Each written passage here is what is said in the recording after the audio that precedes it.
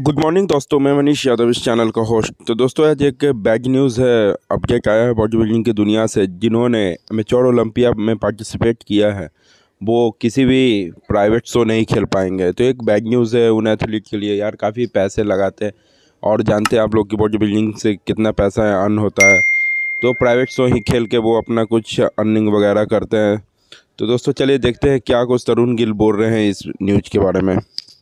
Manish Paji, there is some confusion. First of all, congratulations for a great show at IHFF, Sherupa ji also. But एक confusion है जो आपने अभी story डाली उसमें लिखा है कि pro athlete can participate in any of the pro show in any of the private show मतलब कि amateur ओलंपिया में अगर आपने participate किया है तो अब आप किसी private show में participate नहीं कर सकते तो मेरा आपसे सवाल ये है कि क्या ये सिर्फ़ और सिर्फ़ प्रो कार्ड होल्डर्स के लिए या जनरल जनता के लिए भी? जनरल जनता भी कहीं भी पार्टिसिपेट नहीं कर सकती। जनरल जनता मतलब जो और एथलीट्स होते हैं 400 500 एथलीट्स जो खेलने आते हैं एमेच्योर बिकॉज़ uh, उनकी सोर्स ऑफ़ इनकम है ये प्राइवेट शो खेल खेल के ही वो ओलंपिया की तैयारी करते हैं। Because sometimes this private show offer a huge amount of money so please answer this question because इससे काफ़ी लोगों की सोर्स ऑफ़ इनकम डिपेंडेंट है। Please let me know I hope it's only for pro card holders but I just want to hear I just want to hear from you from the official so मेरे सारे athlete भाई I got some bad news I hope ये bad ना होती but this is bad news कि आप अगर कभी भी आपने प्रो कार्ड के लिए अगर आपने एमेचोर ओलंपिया खेला है,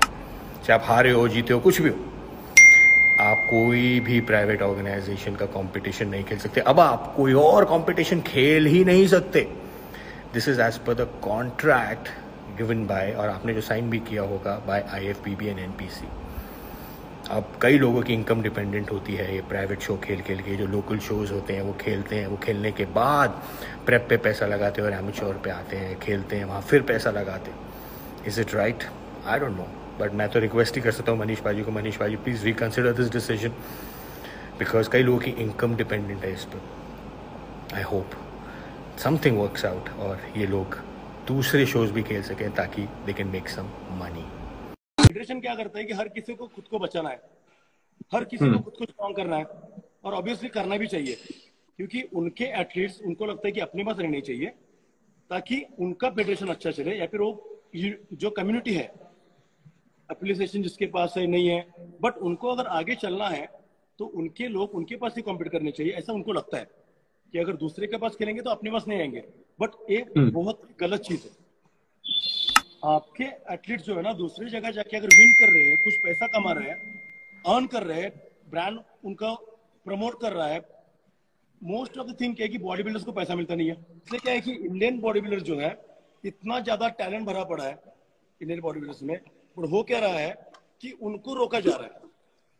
विदाउट रीजन एक्चुअली एक भी रीजन होना चाहिए उसके पीछे कि आपके एथलीट ने, मैं फेडरेशन को बोलना चाहता हूँ कि आपके एथलीट ने दूसरे की फेडरेशन में क्यों नहीं खेलना चाहिए? आपके पास एमेचर ओलंपिया में हर साल 500 लोग आते हैं। एक कंपटीशन खेलने। हाइपोथेटिकली स्पीकिंग ज़्यादा हो सकते हैं, कम हो सकते हैं। 400 500 जितने भी डिपेंड करता है।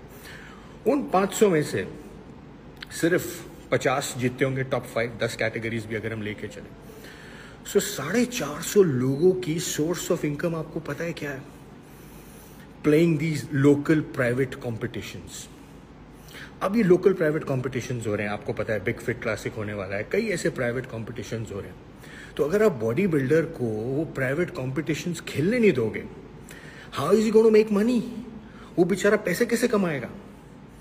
थिंक अबाउट इट तो मैं मैं सिर्फ़ रिक्वेस्ट करना चाहता हूँ मनीष पाजी को कि, पाजी प्लीज़ एंड शेरू पाजी is well let them play this competition यार। जितने भी प्राइवेट कॉम्पिटिशन हैं लेट देम प्ले